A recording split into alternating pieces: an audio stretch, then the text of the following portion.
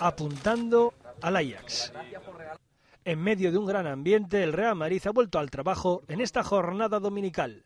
Una sesión que ha contado con 20 futbolistas y que ha estado supervisada en todo momento por el técnico luso José Mourinho.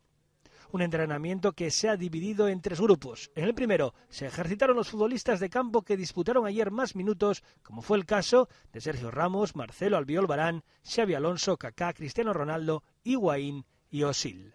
Todos ellos llevaron a cabo una suave sesión de recuperación dirigida por Rui Faria, en la que realizaron distintos estiramientos y carrera continua.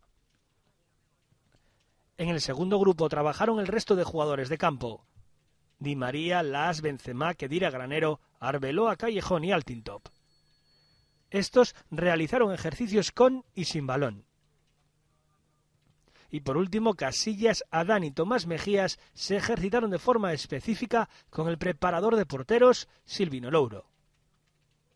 Una sesión en la que ya se ha empezado a preparar el segundo choque de la fase de grupos de Champions frente al Ajax de Ámsterdam del próximo martes en el Estadio Santiago Bernabéu.